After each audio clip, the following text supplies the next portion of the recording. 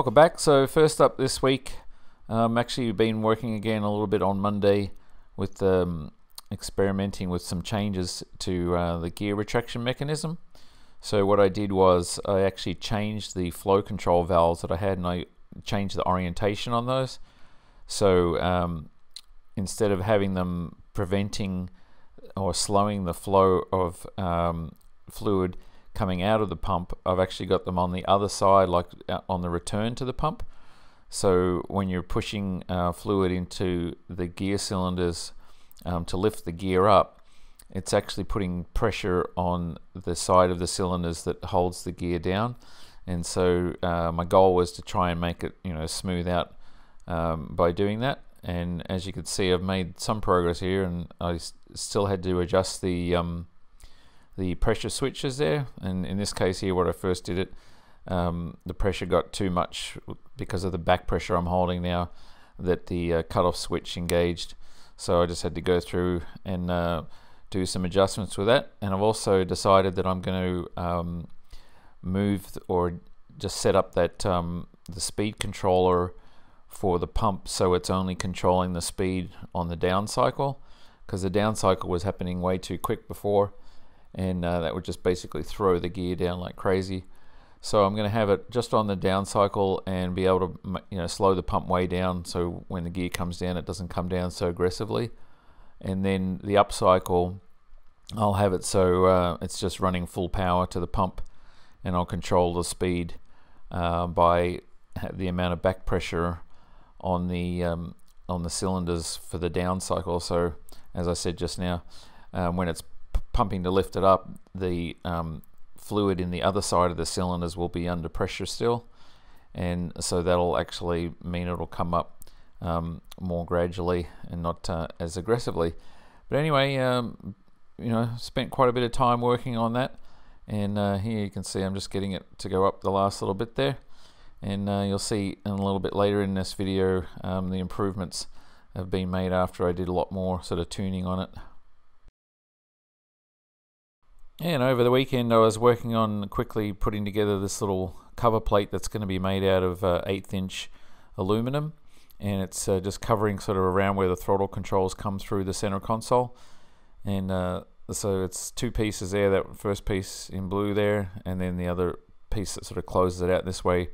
It can be sort of slid around the throttle arms. Uh, there's only really way of doing it. And in the center there is going to be the um, prop um, governor controller and then these three little holes there those are going to be the indicator LEDs for uh, the landing gear for what position it's in. And they change color depending on you know whether it's up down or in uh, progress of uh, or in transition. So that's um, something I'll be putting on the machine here uh, probably tomorrow actually and uh, cutting that out. And then we can get that all finished off and probably just going to brush it. So it'll be like a brushed aluminum finish I think And next up in the cabin was more work on the uh, pressurization system. So Devon is here installing the controller for those outflow valves. And we already had the hard points in there for that, or at least the studs, so he's just bolting that in. And uh, Jeff's been doing some more work on uh, getting the cowling sort of fitted there. Just got the lower uh, aft section there and, and uh, fitting it up around that wheel that he cut out uh, last week. So progress is being made there and uh, Devon's just clearing off the edge of the uh, the wing lower wing skin there so those uh, straight fences can go on. And oh, Devon also got uh, the plumbing done here the little plastic tubing um, that connects those three different units together the two outflow valves and the controller and with a few T's in there. So that's a, a job that's now done. And you can see Jeff's made even more progress so he's got the upper cowling uh, just temporarily fitted on there just to see how that's coming together. And now you're going to be able to get sort of a real look of how the, the uh, fuselage sort of seems longer. And uh, as I was saying last week I'm uh, working on uh, getting those um, hinge hangers there smoothed out on the inside because they were just water jet cut and they were too rough for those bushings to run in. So I'm just running them around on the machine and uh, smoothing that and there you can see one that hasn't been done yet. And I don't know if you can see but it's a bit rough in there. And uh, running on the machine is uh, doing a good job smoothing it out as you can see just taking off maybe I don't know three thousandths maybe um, just to smooth it out. And then after I did that um, you'll see here in a second Devon just got on there with some uh, 320 sandpaper and then I believe some uh, 400 and just smooth them out uh, a little more so they're sort of a bit more like a mirror image. And uh, there you can see he's got that in the vise. And he's been working on those so I had to do uh, all eight of those uh, to get them nice and smoothed out so the bushings will run nicely on them. So that's what everyone was up to on Monday. And moving on to Tuesday it was time to do a test fit of the right wing and it hasn't been closed out yet but we wanted to test it this way. We could check um, that everything was going nicely and um, fitting nicely with the bushings and the bolts and all that sort of stuff before we actually closed out um, the lower skin. So um, we set up some drums there to rest everything on so we didn't have to sort of hold it in the air while we were getting it aligned and didn't really have too many problems with it until little bit of um, sort of maneuvering around and the bushings lined up for the bolts and we got them in and uh, basically sitting there now. So that drum there by where Devon's standing isn't actually holding any load at that point. Um, so uh, that's exciting to see that fitted. You really get a feel of that size of the aircraft now and uh, the winglets are tall and up there but um, I think they're proportional to the aircraft. It doesn't feel like they're too crazy big. So this is a different angle there. I'm standing up on the just a ways on the machine there so you can see how it looks from there. And just to give you some more angles, um, this is what it looks like from uh, up on top of the machine with the wide angle lens. So starting to come together. Obviously the aileron's not on there and we don't have the uh, top surface on the strake there. And this is how it looks from the front, again with a wide angle lens. And uh, you can see sort of how tall that strake looks. I really think it looks in proportion. I don't think it looks too big at all. Um, anyway, so that's how that looks. And uh, just switching again angles. This is again from uh, up on the machine, but with a, just a regular lens on my camera. So, yeah, I like it. I think it looks good and it's going to look good when the rudders are on there and the ailerons on there.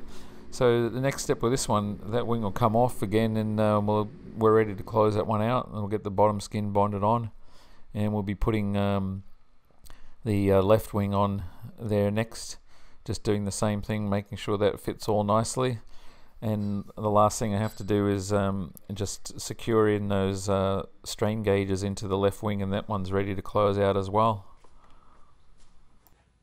And moving back onto the gear, I wanted to show you how it looks now and how it operates now that I've made some more adjustments to it um, from what I showed you earlier. So um, here it is going up. And you can see it's still got that little bounce there. I think what I need to do is get like a flow divider uh, just for the rear um, gear so it evenly flows both legs but I'm kind of concerned. I've, I've been looking at some online. I'm kind of concerned that um, some of those may may have a problem when it uh, the the um, hydraulic fluid flows back the other way. That it may restrict it or do something weird. So I may have to try that. I'm not sure yet. We'll see. Uh, anyway, changing angles so you can see both legs or all three legs at once. Uh, this is kind of how it looks like when it's running on the up cycle. So nose up first, and then you see that little sort of wiggle there.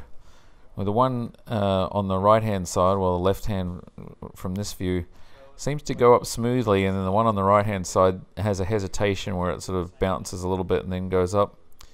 So I'm not exactly sure why it's doing that, but it is. Uh, but anyway, I think a flow uh, flow divider would fix that. And there's the down cycle. And it's still a get. It seems to be that that one on the left side camera here always wants to go first. I, need to think about this about how it's plumbed. There's just a T running down the back there to those, so they should be fairly even.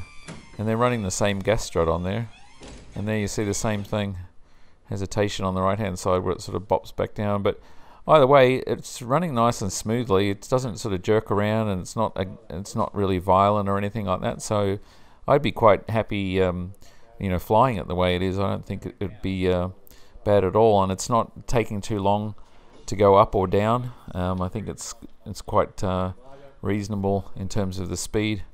Um, but you know, like anything, it's you kind of want to get it tuned um, as best you can. And here I'm showing the operation of the dump valve. So this is a case of um, the gears not working right. So I've actually gone and thrown the dump valve, which releases the pressure um, and basically equalizes it.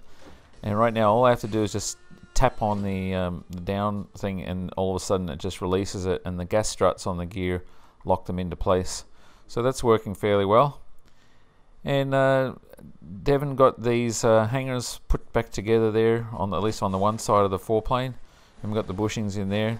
And uh, as you can see, it's rolling better now, much smoother than it was, but it's still going to be a bit of an experiment to see if this whole uh, elevator um, with the, these uh, sliding tracks there is going to work out for us. So uh, the next step here is to put the push rods in place, which means uh, you know, cutting the holes in the um, in the spar so we can connect those push rods, and then uh, mounting the the rod ends there to uh, the elevator itself, and seeing if it's going to operate the way um, I'm hoping. But we'll see. And here's a slightly different angle there to see how that wing looks there now that's on. And as I said, that'll be coming off and getting closed out, and then that's one wing down. So um, the other wing will probably go on tomorrow.